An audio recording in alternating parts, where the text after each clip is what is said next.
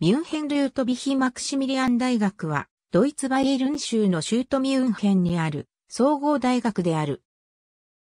1472年に設置された。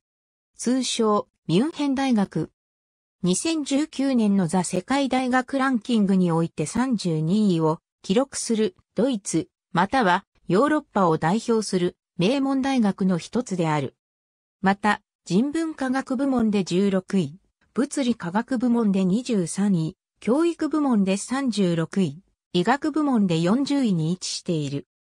1472年に、シモバイエルンランツフートコールートビヒ旧姓によって、インゴルシュタットに、インゴルシュタット大学として創設されたが、北のプロテスタント系ライプツヒ大学と対立して、長らくイエズス会の支配下に置かれ、ナポレオン戦争の後の1826年に、バイエルン王ルートビヒ一世によって、ミュンヘンに移転再創設された。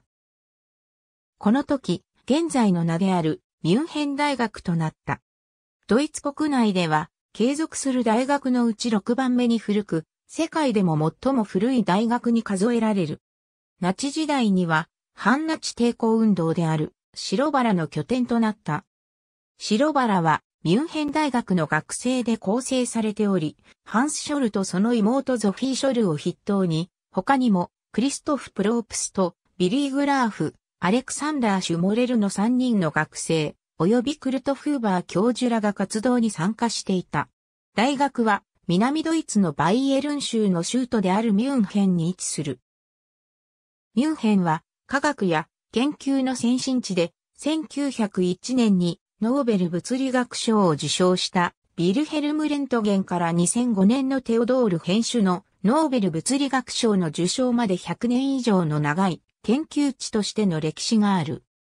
また、ルートビヒ4世の時代からすでに精神的な中心地としてパドバのマルシリウスやオッカムのウィリアムなどの哲学者は王室の庇護のもとにあった。マックス・プランク研究所関連の研究機関がミュンヘンには多く立地しているほか、フラウンホーファー協会など他の研究機関も様々なものが立地している。街についてはミュンヘンを参照。最寄り駅、大学駅 U、ボンホフ・ウナバーサターとミュンヘン地下鉄3号6号線に大学という名の駅がある。これはミュンヘン大学本館の前に位置する駅である。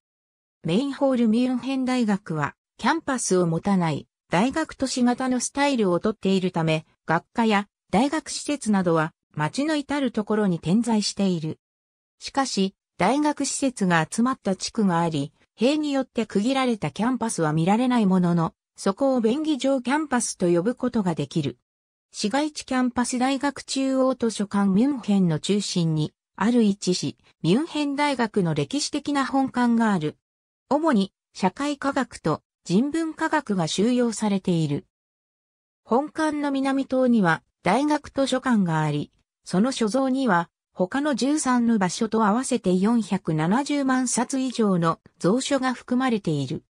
バイエルン州立図書館のほか、多くの重要な博物館やアーカイブにも近接している。これにより、研究と教育に最適なインフラが確保されている。キャンパス周辺の駐車場は非常に限られているため、アクセスは公共交通機関の利用が進められている。ハイテクキャンパス自然科学と生命科学のほとんどはグロースハーデルン・マーティンスリートにあるハイテクキャンパスに集中している。マックス・プランク研究所及びミュンヘンヘルムホルツセンターに近接しているため、革新的な基礎研究をネットワーク化することができる。 IZB インキュベーターと BioM AG により、優れた研究結果のアプリケーション志向技術への移転もハイテクキャンパスで促進することができる。大学設立当初は哲学部、法学部、医学部、進学部を備えていた。現在では18学部に700人の教官を要する学生数4万4千人の総合大学となっている。学部は下記の通り組織されている。公式のナンバリングでは06と14が欠番となっている。このうち06であった林学部は1999年にミュンヘン工科大学に移転されており、14は13に併合された。工学系学部がないのは、工学教育がミュンヘン工科大学で行われているからである。ミュンヘン大学の本館は、ミュンヘン中心地の北側に位置し、すぐそばには、ジョージャナム、ルートビヒ教会、勝利の門、バイエルン州立図書館がある。建物内部には、多数の講堂、ゼミ教室、オードマックス大講義室、大講堂、白原記念館、大学行政の一部がある。建物の前は、白原運動にちなみ、ショル兄弟広場と名付けられ、地面には、当該ビラのレプリカが見えるように埋められている。地下鉄3号線、6号線の大学駅直結。大学本館、ディックサブ本館に入った正面にある広い空間。白原で、ショル兄弟がビラをばらまいた場所である。本館とそのすぐ周囲には、数多くの施設と主にカトリック神学部、福音主義神学部、法学部、経営学部、経済学部、私学、芸術学部、哲学、科学哲学、宗教学部、言語学、文学部、文化学部、数学、情報学、統計学部の研究所がある。エングリッシュガーテンの東側に位置する研究棟には、情報学研究所の大部分と政治学研究所が入っている。また、日本センターとその他の小さな施設もここに見られる。本館の南棟には大学図書館があり、その所蔵には他の13の場所と合わせて470万冊以上の蔵書が含まれている。それとは別に各学部付属図書館にて専門書が収集されている。また、レオポルト通りには教科書を集めた図書館があり貸し出し可能となっている。図書館に入るためにはカバンをロッカーに預ける必要があり、飲食物の持ち込みも禁止である。大学病院グロスヘダーン、ミュンヘン大学の大学病院は、市街地キャンパスと市内南部のグロースハーダーンの2カ所に設備を持っている。学食は、スタディレンデンワークミュンヘンによって運営されている。レオポルト通りメンザは、地下鉄、ギザラストラッサ駅を出て、すぐの場所にある。大学公式グッズが販売されている。交渉入りのマグカップ、パーカー、文房具などを購入することが可能である。ギザラストラッサ駅直結の建物の中にあり、学食の建物の隣に位置する。ミュンヘン大学は、ハイデルベルク大学やベルリン大学と並ぶ、国内最高水準の教育と研究力を誇り、世界各国から多くの留学生や研究者が集まる最も権威のある学術機関の一つである。この点、各世界大学ランキングにおいて、ミュンヘン工科大学やハイデルベルクと常に国内首位の座を争っている。また、ヨーロッパ研究大学連盟に加盟している。ミュンヘン大学は、学士、修士、博士の過程において、約150の専攻を提供している。ドイツでは、伝統的なディプロームや、マギスターから国際的な学士、修士へのシステムの移行であるボローニャプロセスが進んでいる。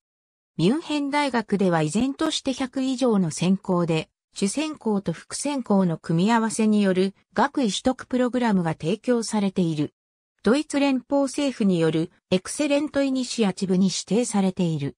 すなわち、エリート大学という評価を受け、多くの研究資金を得ている。2006年の開始以来、継続して選出されていて2019年にも再選出された。学費はドイツ人、外国人に関係なく無料である。そのため、世界各国の優秀な学生を獲得するのに成功している。これまでに42人の大学関係者がノーベル賞を受賞している。ノーベル文学賞、ノーベル物理学賞、ノーベル医学生理学賞、ノーベル科学小政治家その他なお、日本人留学生も少なくなく、ミュンヘン大学博士号取得者の中で、過去現在日本で活躍している人文社会科学思想理科系の学者としては、などが挙げられる。協定校、第二次世界大戦中、ドイツ国内における反ナチス運動の一つである白いバラの活動がミュンヘン大学を中心として行われた。メンバーは大学の医学部生であり、大学内でのパンフレット配布の際に逮捕され、その後、死刑に処されている。一方で、ミュンヘン一揆が発生した土地柄ニュルンベルク裁判において、公主刑となったヘルマン・ゲーリングやハンス・フランク、ビルヘルム・フリックといったナチスドイツの幹部を多く輩出した。また、トゥーレ教会の一員で、ナチ党にも深く関わっていた地政学者カールハウス・ホーファーがその教鞭を取ったこともある。ありがとうございます。